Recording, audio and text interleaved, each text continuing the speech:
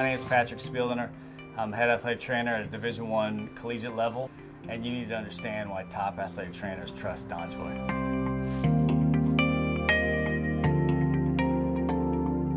One product that, that we've seen, and, and we've seen that it works, and it's very very popular with uh, with uh, all athletes across all different levels, is the is the DonJoy Bi- Bionics uh, ankle brace. It's got this, the 60 degree stays in it. Statistics show that that's the most common uh, position the ankle is in when, when it does uh, suffer an ankle sprain.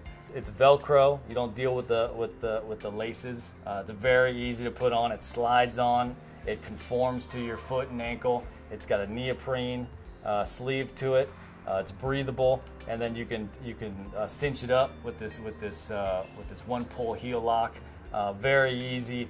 Uh, the other reason why uh, you know some places like to brace more than, than taping, overall it's a little cheaper.